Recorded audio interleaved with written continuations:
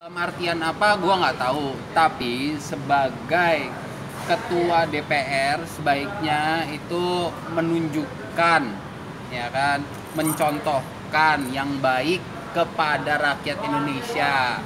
Kalau dipanggil dateng, jangan ngilang gitu.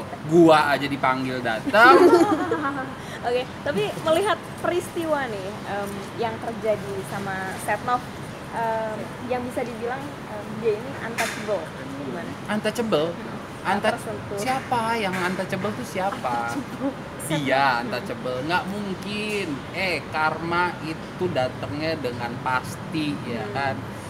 Aduh, percaya deh ya kan. Kalau misalnya nggak menjalani hukum, peraturan hukum yang baik dan benar itu, karma itu datangnya cepet. Pak, astagfirullahalazim Pak, Pak kasih contoh yang baik Pak.